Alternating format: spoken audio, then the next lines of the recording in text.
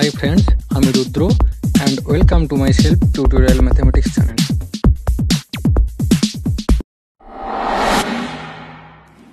বন্ধুরা, আজ আমরা অঙ্কের একটা খুব সাধারণ বিষয় গোসাগু ও লোসাগু নিয়ে আলোচনা করব।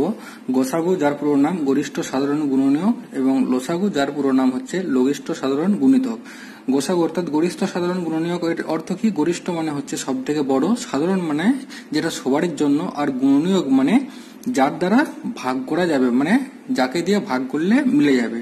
আর লোসাগু মানে লঘিষ্ঠ সাধারণ গুণিতক কথার অর্থ হলো লঘিষ্ঠ মানে সব থেকে ছোট সাধারণ মানে যেটা সবারই জন্য আর গুণিতক মানে গুণ করে পাওয়া যায় এমন। অর্থাৎ লঘিষ্ঠ সাধারণ গুণিতক মানে সব থেকে ছোট এমন সাধারণ গুণিতক যেটাকে গুণ করে পাওয়া যায়। এটা হলো গোসাগু এবং লোসাগুর কথার অর্থ। তো চলো বন্ধুরা, এখন আমরা গোসাগু এবং লোসাগুর অঙ্ক কীভাবে করব সেটা একটু দেখে নিই। গোসাগু, এবং লসাগু করার, প্রথমে আমরা গোসাগু কীভাবে করতে হয় সেটা দেখে নেব। গোসাগু করার জন্য আমরা তিনটে সংখ্যা নিয়ে নেব। ধরো নিলাম তিরিশ নিলাম, আর একটা নিলাম পঁয়তাল্লিশ নিলাম, আর একটা নব্বই নিয়ে নিলাম। তো গোসাগু যখন করব তখন আমরা এরকম ভাবে লিখব, এবং এখানে এমন একটা সংখ্যা খাব যেটাকে দ্বারা এই তিনটে সংখ্যা কি ভাগ করা যাবে এমন। তো এখন আমরা এখানে কি দেখতে পাচ্ছি? তিরিশ, পঁয়তাল্লিশ এবং নব্বই এমন সংখ্যাগুলি আছে এটাকে তিন দিয়ে, এটাকেও তিন দিয়ে এবং একেও তিন দিয়ে ভাগ করা যাবে। কি করে তিন দিয়ে ভাগ করা যাবে সেটা আমরা বুঝব কি করে? সেটা বিভাজ্যত নিয়ম অনুসারে আমরা কিন্তু পেয়ে যাব। তিন দিয়ে ভাগ, তিন দ্বারা বিভাজ্যতার নিয়মটা কি? না, তিন দিয়ে ভাগ করার নিয়ম হলো যেই সংখ্যাটি আমার থাকবে তার ডিজিটগুলো যোগ করে সেই যোগফলটাকে তিন দিয়ে ভাগ করে যেতে হবে। তাহলে তিন দ্বারা ভাগ করে যাবে। তো বিভাজিত নিয়ম নিয়মের ভিডিও কিন্তু আমি আগেই তৈরি করেছি, তোমরা সেটা দেখে নিতে পারো। ভিডিও শেষে আমি তার লিংক দিয়ে দেবো এন্ড স্ক্রিনে সেটাকে, সেটা থেকে তোমরা কিন্তু দেখে নিতে পারবে। বিভাজিত নিয়ম সেখানে পুরো বলা আছে। তো তিন দিয়ে যদি আমরা এটাকে ভাগ করি, ভাগফলটা যাকে ভাগ করছি তার নিচে লিখতে হবে। তিনকে তিন দিয়ে যদি তিরিশকে ভাগ করা যায় হয় তাহলে এখানে হবে দশ, এখানে পঁয়তাল্লিশকে ভাগ করলে হবে পনেরো, আর এখানে নব্বইকে ভাগ করলে হবে তিরিশ। এখন আমরা তিনটে সংখ্যা কি কি পেলাম? ভাগ করার পর দশ, পনেরো এবং তিরিশ। এখন এখানে এমন একটা সংখ্যা আমাদের বোস করাতে হবে, যে, যেটাকে দিয়ে এই তিনজনকেই ভাগ করে যাবে। এটাকে দেখছি দশ, পনেরো, তিরিশ। এর প্রত্যেকটা, দশের ক্ষেত্রে লাস্টে শূন্য আছে পনেরো ক্ষেত্রে লাস্টে পাঁচ আছে, তিরিশের ক্ষেত্রে লাস্টে শূন্য আছে। অর্থাৎ পাঁচ দ্বারা ভাগ করে যাবে তিনজনকেই। বিভাজিতের নিয়ম থেকে কিন্তু আমরা এটা পেয়ে যাব। তো পাঁচ দ্বারা যদি দশকে ভাগ করা হয়, তাহলে এখানে হবে দুই এখানে হবে তিন আর এখানে হবে ছয়। এরপর সংখ্যার তিনটা আমরা কি বললাম দুই, তিন আর ছয়। সংখ্যা দুটি এমন পেয়ে গেছি, এমন কোনো সংখ্যা এখন আর পাওয়া যাবে না, যার দ্বারা এই তিনটে সংখ্যাকেই একসঙ্গে ভাগ করা যাবে। অর্থাৎ গোসাগুর ক্ষেত্রে কিন্তু আমাদের এখানেই থেমে যেতে হবে। তো এখন আমরা গোসাগু কত কত পাবো? লিখব অতএব গোসাগু গোসাগু সমান কি হবে? গোসাগুর ক্ষেত্রে শুধুমাত্র পাশে যেই সংখ্যাগুলি আমরা পাবো, তাদের গুণফলটাই হয়ে যাবে আমাদের গোসাগু। পাশে আমরা কি কি পেয়েছি? তিন আর পাঁচ পেয়েছি। তাহলে গোসাগু আমরা কি করব? তিন আর পাঁচে গুণ করে দেবো। তিন আর পাঁচে গুণ করলে হবে পনেরো। অর্থাৎ আমরা গোসাগু কিন্তু পনেরো উত্তর পেয়ে গেলাম। এরপরে যদি আমরা একই সংখ্যার, সংখ্যা তিনটি লোসাগু করতে যাই, লোসাগুর ক্ষেত্রে আমরা কি করব? লোসাগুর ক্ষেত্রে গোসাগু করার জন্য আমরা যতদূর করেছিলাম, ততদূর কিন্তু আমাদের করতেই হবে। লোসাগু করার জন্য গোসাগুর যতদূর প্রসেসিং সেটা তো আমাদের করতেই হচ্ছে। বাড়তি আরও কিছু প্রসেসিং হতেও পারে, নাও হতে পারে। তো একই রকম ভাবে প্রথমে তিন খালে, এখানে আমরা পাবো দশ, পনেরো, তিরিশ, পরের বারে আমরা যদি পাঁচ দিয়ে ভাগ করি, পাবো দুই, তিন আর ছয়।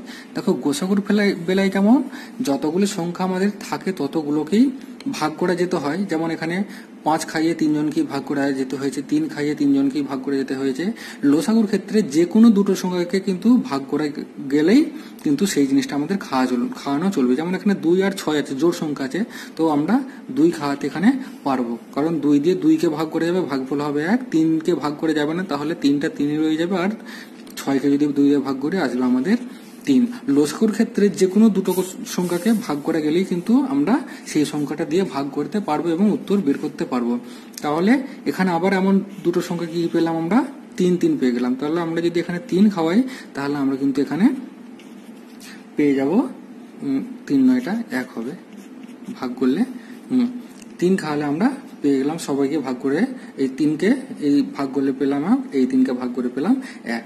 অর্থাৎ এখানে কিন্তু লসাগুর ক্ষেত্রে যে কোনো দুটো সংখ্যাকে ভাগ করা গেলেই সেটা কিন্তু আমরা খাওয়াতে পারি। তো এখানে আমরা এরপরে লসাগু যদি নির্ণয় করি, অতএব নির্ণয় লসাগু। লসাগু সমান কি হবে? লসাগুর ক্ষেত্রে পাশে যেগুলো থাকবে সেগুলো আর সঙ্গে নিচে যেগুলো থাকবে সেগুলোকেও কিন্তু গুণ করতে হবে। তাহলে আমরা যদি আমরা লসাগু করি, তাহলে পাশ এবং নিচের যত সংখ্যা থাকে সবগুলো মানে এখান থেকে শুরু করে এত দূর পর্যন্ত সব সংখ্যাগুলোর গুণফল হবে আমাদের নির্ণয় লসাগু। তাহলে নির্ণয় লসাগু কথা হচ্ছে তিন ইন্টু পাঁচ ইন্টু দুই ইন্টু তিন ইন্টু তিন ইন্টু এক ইন্টু এক ইন্টু এক করা করতে হয়, কিন্তু এক দিয়ে গুণ করলে কিন্তু আমাদের গুণফল সে একই আসে, তাহলে আমরা আর এক দিয়ে গুণ করছি না। এখানে যদি একের বদলে অন্য কিছু সংখ্যা থাকতো, তাহলে আমরা কিন্তু সেগুলো গুণফল আকারে লিখতাম এবং গুণ করে লসাগু নির্ণয় করতাম। তো এগুলো যদি আমরা গুণ করি, তাহলে আমাদের কত হবে গুণফল? তিন দুয়ে ছয় ছয় পাঁচ তিরিশ তিরিশ তিন নব্বই। অর্থাৎ আমাদের লসাগু পেয়ে গেলাম। উত্তর, নব্বই। তো নব্বই লসাগু পেলাম মানে কি? নব্বই হচ্ছে সব থেকে ছোট সেই সংখ্যা।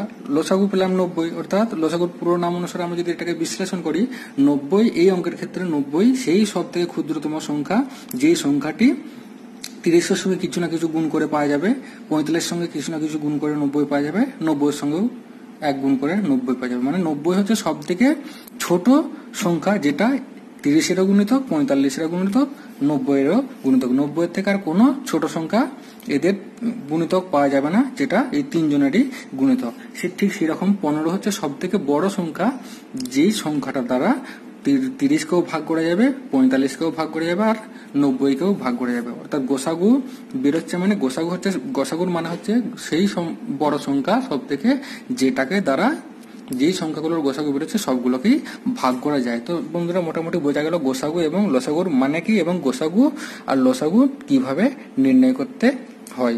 পরের ভিডিওতে আমরা গোসাগু এবং লসাগুর লেখা অঙ্ক কীভাবে করতে হয়? মানে গোসাগু, লোসাগু লেখা অঙ্ক আকারে দেওয়া থাকলে কীরকম ভাবে থাকে, তার সলিউশন কি করে করতে হয়, সেটা কিন্তু আমরা দেখব, কিন্তু আজ নয়, পরের ভিডিওতে। তো তার জন্য চ্যানেলটি সাবস্ক্রাইব করো, যাতে করে পরের ভিডিওর নোটিফিকেশন তোমাদের কাছে খুব তাড়াতাড়ি পৌঁছে যায়। তো বন্ধুরা, আজকের মতো এই পর্যন্তই। বাই